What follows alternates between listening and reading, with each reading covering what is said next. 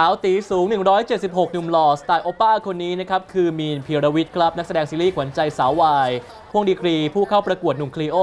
ยอมรับช่วงนี้เนี่ยผวาบ่อยเลย เพราะว่าถูกคนโรคจิตก่อกวน เคสล่าสุดนั้นก็เริ่มมีการหนักข้อขึ้น มีการเข้ามาส่องถึงในห้องน้ำเลยทีเดียวครับอ่าไปเดินเดินไปบอกเขา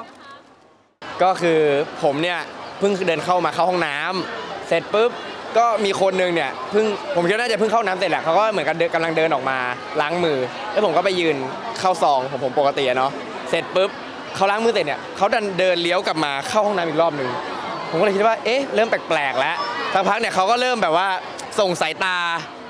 แอบคอนเน็กกับผมแบบแอบหันมามองหันมาอะไรเงี้ยเราก็เอ๊ะเราก็เลยเบี่ยงตัวหลบนิดนึง ผมไม่ได้สังเกตจริงๆครับเพราะว่าพอพอเขาพอจังหวะที่เขาผมรู้สึกว่ามันคอนเน็กกันแล้วเนี่ยผมก็เลยรีบหลบดีกว่าฮะ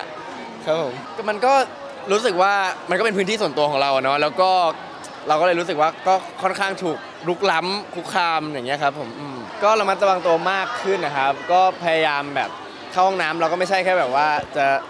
สนใจนี่อย่างในการเข้าอย่างเดียวเนาะเราก็ต้องแอะมองซ้ายมองขวามองรอบๆนิดนึงครับบางทีก็แบบว่าไม่รู้ว่าใครอะไรยังไง ไม่ดีไม่ดีครับไม่ดีครับอย่าเลยครับ ผมขอร้องนะครับผมคิดว่าเราไม่ควรไม่ใช่แค่ตัวผมเองหรอกคนอื่นด้วยแหละครับผมเราไม่ควรที่จะแบบแอบลุกล้ำ ความเป็นส่วนตัวของคนอื่นนะครับผม